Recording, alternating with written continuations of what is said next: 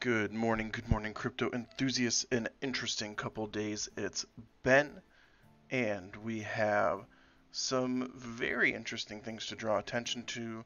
Um, it does look for the moment that uh, alts are holding quite well. Um, Bitcoin is continuing to look concerning. Uh, Dogecoin is a meme.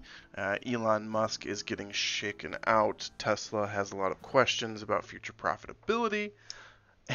And the crypto market is just hum, hum, humming along. So, uh, really quick, uh, we've got 60 subscribers over on YouTube. It's pretty funny.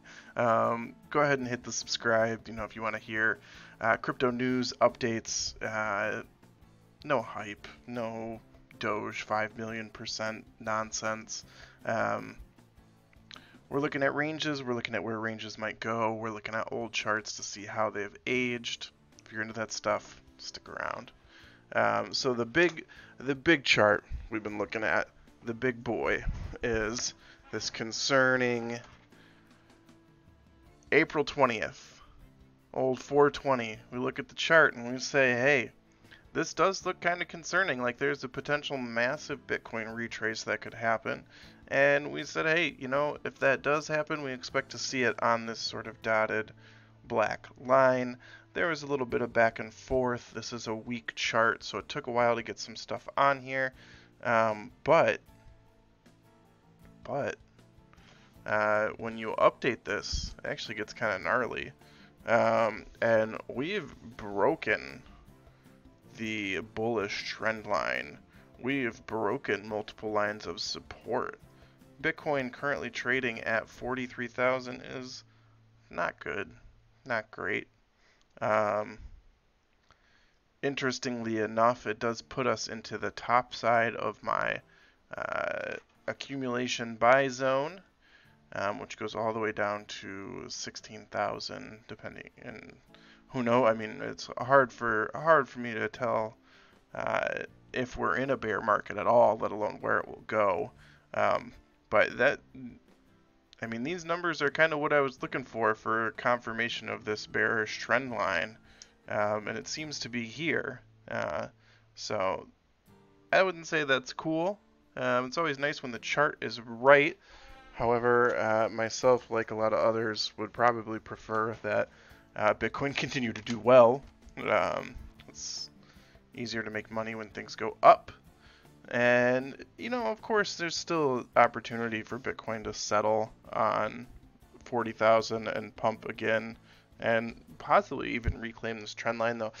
I'm starting to wonder if, uh, you know, we're reaching that point where time is kind of the enemy of uh, parabolic movement. I mean, if you scrunch this in even smaller, you see what I'm saying about this just being ridiculous movement um, on Bitcoin and you know probably a little bit of little bit of uh, asset deflation coming out now. So uh, always important to keep an eye on. Let's head over to uh, Ankr. Uh, we'll do XLM after that.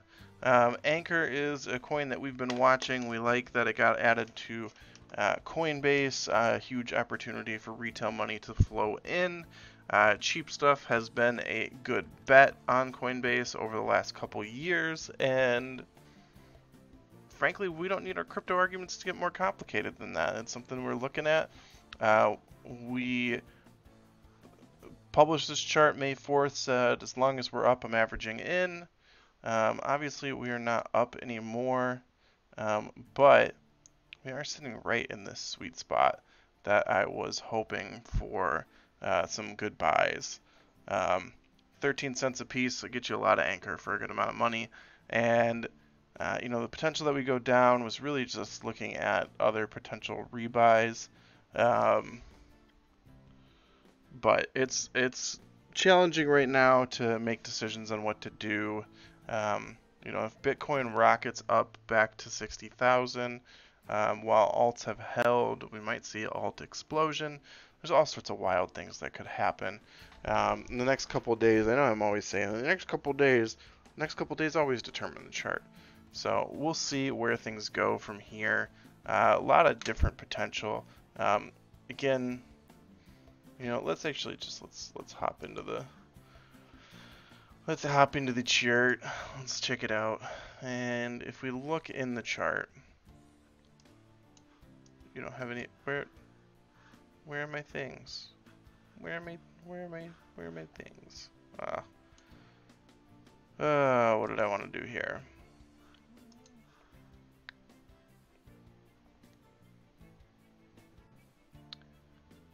What? So 11 to 19 cents. I really wanted to come over a chart just for that. Let's see, 11 to 19 cents. Yeah, so it's about a 63% return. I don't know, it's kind of what I'm looking for. Oh, they didn't get a free ad. Kind of what I'm looking for in the next uh, maybe like month or so on Ankr if the market stays good. Um, if not, you know, this this could go poopy. Um, and and when if it goes poopy, I might might be looking at it too. Uh, crypto's weird. All right. Lastly, XLM. This one's actually kind of impressive, uh, especially when you compare it to the Ankr chart that we were just looking at. Um, the Ankr chart uh, gives you expectations of what the XL what XLM will do, but XLM actually, um, interestingly enough, is uh, pushed and is sitting around this uh, sitting around the 65 cents mark, which is uh, still above its trend line. Um, XLM uh, doing doing quite well um, which makes me wonder about, you know, I mean, obviously there's a couple things you can wonder about here, and let's see if it'll give me the, give me the right chart, and there we go. No ads, they finally got it. All right, let's take a look here at and I know I did another update where I was like, oh, we'll probably range for a while. Looks like we pretty much did exactly that. Wow, this chart's been good. This chart has been awesome.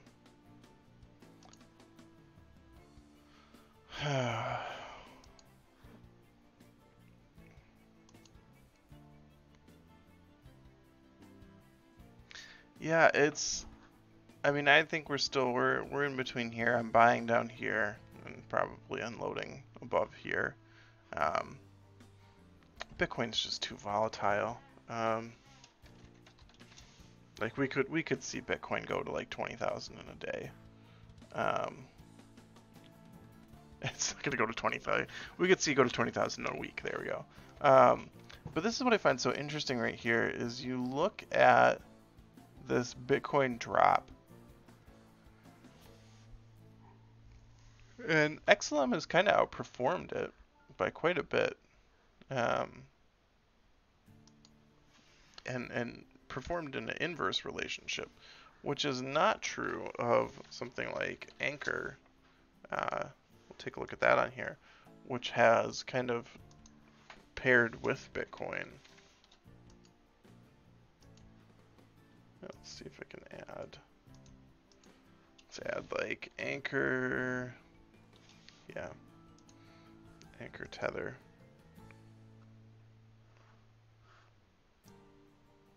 Alright, so obviously when Ankr got added to Coinbase, it went wild. Um, here we go.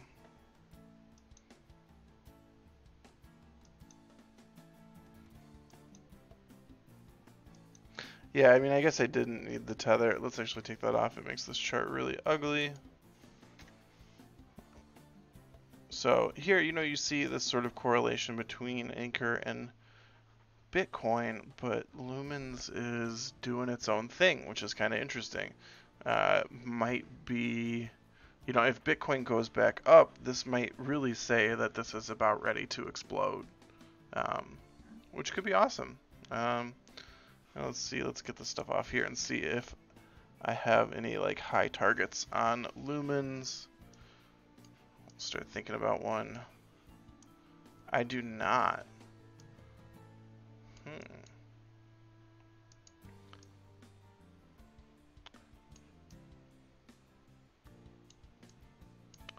Yeah, yeah, honestly, I mean, if we stay bullish, this might be something to think about. Is what what is the top for lumens? you know, where do we go from here? And this this could be,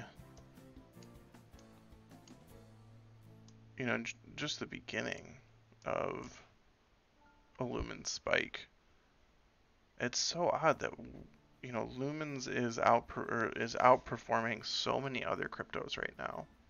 Um, because if you go look at, I mean, if you have charts drawn similar to how I have them drawn, so many cryptos are below this trend line. Um, and it's it's kind of wild. I mean, I guess it's something we'll update in the next couple days. Um, but that's going to be it for us today. You know, nice reminder here at the end. You know, we're not a financial advisor. We're not a licensed financial advisor. We don't claim to be a licensed financial advisor. It's not the intent of the videos. We're here to explore crypto news and education. And frankly, we just like making charts with the community. So if you like those things, you know, make sure to go ahead and subscribe, drop the like, hang out, uh, ignore my lack of flash and marketing value, and, you know, let me know what's up. So thanks for dropping by. Have a good one, folks.